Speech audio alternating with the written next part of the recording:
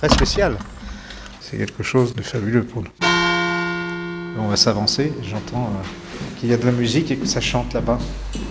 Alors on ouvre la deuxième porte pour rentrer dans l'église. Comme on est dans un, un style contemporain, on voulait garder quelque chose de simple. Oui, elle a été voulue un peu plus chaleureuse, plus de proximité.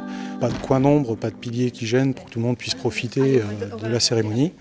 Elle est lumineuse, elle est claire, elle est chaleureuse. La paix, la paix, donne-nous Seigneur la paix. Ce qui me fait plaisir, c'est de voir les gens heureux. Les gens avaient tellement envie d'avoir leur église sur place. quoi. C'était quelque chose d'important. C'est vrai que ça, ça nous manquait depuis quelques années. On n'avait pas ces offices. On était euh, bien accueillis dans les communes euh, avoisinantes. Mais il y a toute une vie autour d'une église. Il y a d'abord, euh, on s'y retrouve, il y a toute la communauté, mais il y a toute la vie extérieure. Quand on sort de l'église, on peut aller au pain, on va. Il y a toute une vie, même municipale, qui est autour. Donc là, ça va repartir. Donc ça fait plaisir. C'est un beau cadeau de Noël. Très beau cadeau de Noël pour tous. La paix.